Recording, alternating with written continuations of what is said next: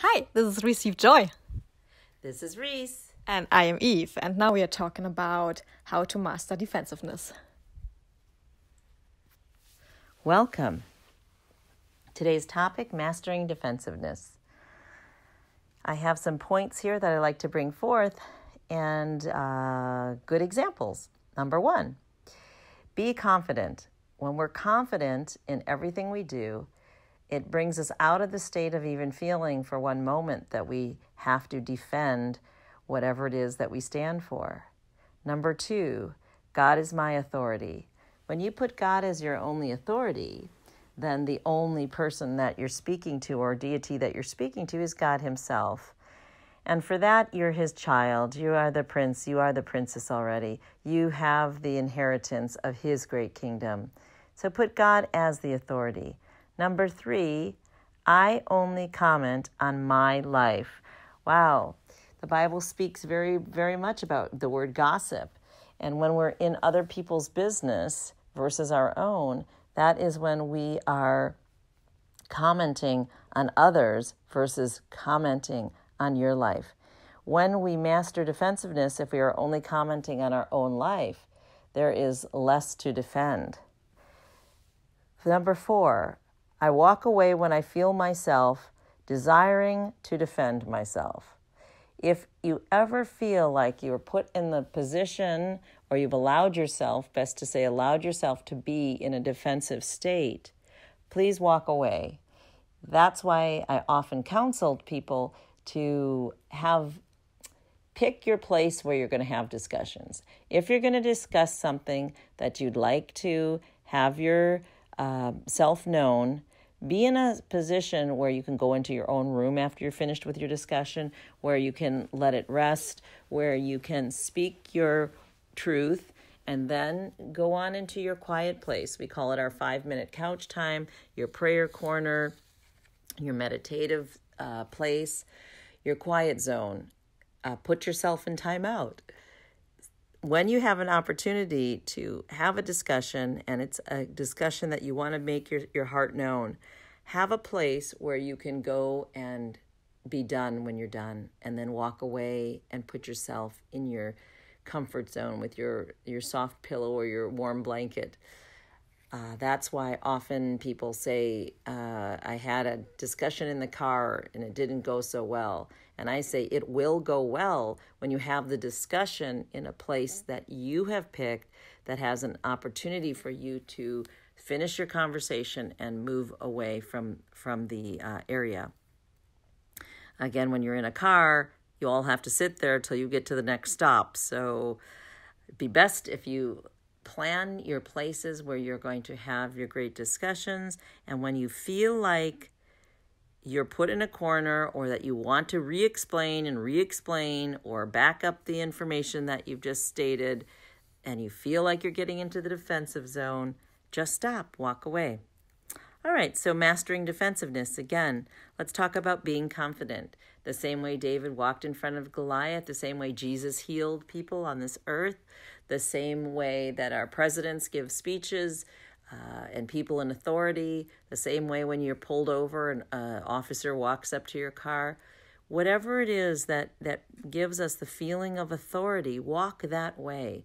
Your physiology, we spoke of this the other day, your physiology is important when you're being part of authority, that your head is held high, that your shoulders are upright, that you're smiling, that you have confidence exuding from you, that your heart is wide open, and that your voice is clear, and your eyes and your smile and your face says it all. This is your moment to shine. Remember, you're the only one with your thumbprint. You're the only one with your eye scan.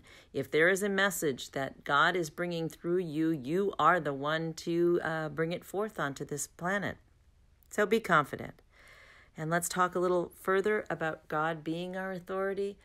When God, and your eyes are on Him and He is your only authority, remember, He wrote the law. The law that we're answering to is God's law. And then when Jesus came, he abolished the law. He fulfilled the law. He all is done. It is complete. Tetelestai, paid in full. That's the Jewish, the Hebrew word on the cross. Paid in full. It is finished.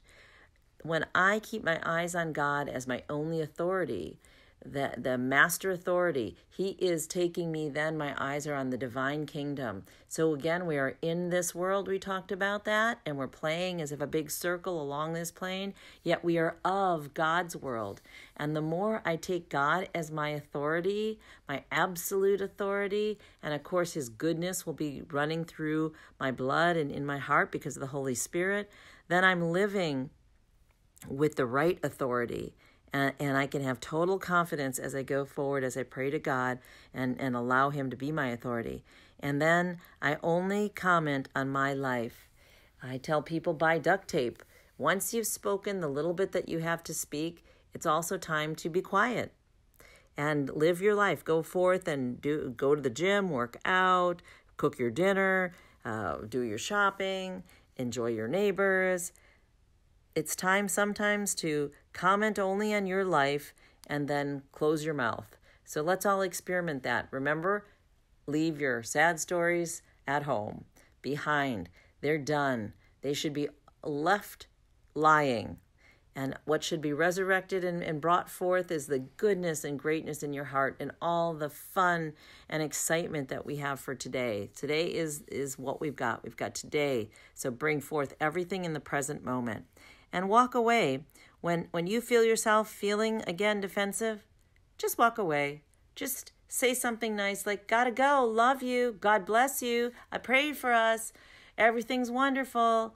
And if a conversation is going th- south, remove yourself. Remove yourself immediately. Gotta go, got to get dinner cooking, have many things to do. Uh, I love you, God bless you, you're awesome, keep up the good work. It only gets better, better and better. So give a word of encouragement, pray, and move on. State your blessing and walk away. That's when you know defensiveness will end.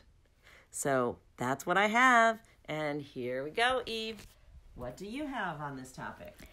So for me, in order to master defensiveness, I have to go back a little bit and and realize where did I start this behavior? So I have to go to the root cause to really see that I started it at a time where it maybe helped me. And, and when I go back to my current life, I see maybe it's no longer serving me this behavior. So i see like when did i come up with defensiveness? When do we actually start to have this voice in our head that already had like a plan b a plan c? What if this person asked me this? What can i answer? What if? And it's usually even uh, situations that are not in the now that are not even coming at all. So so to really stop this I mean, the first action what we have to take is be in faith. So to have this confidence is like really being in faith that our plan A, the confidence we have in bringing something forth, is working out great because we have God on our side. And this way we can draw plan B and all the other uh, plans, and and our ego has to shut up uh, or like move along with us and our greatness uh, to our goals that we set. So so really put down on the altar like that all the thoughts that are less helping anymore. And once we stand our ground and be in confidence and really have our divine mission that we all have and we act on it, uh, there is basically nothing left to be defensive about. On the contrary, it's like really um, in confidence, standing and explaining maybe what we do, but not even doing that, just going forth in greatness. So, so yeah ask yourself why do you still have this this voice in your head? And can we lay it down? And then it's an active decision of yes of course i can lay it down. Because right now in this moment um there's there's faith helping us. There's god helping us. And he has his arms around us. And then when we pray this beautiful prayer of jabez bless me and put your arms around me and keep me in your righteous arena I mean, there's calmness, there's peace in it, where all the other voices in your head quiet down so much that there's only faith and confidence and freedom left. So let everyone be wherever they are because they are in a perfect situation, they are in a perfect moment, they are in a perfect uh, environment, and you stay in your perfect being of this situation and your goals. And when we then come together in joy, then we can create greatness together. Thank you for joining us. Have a beautiful day. We love you. Bye.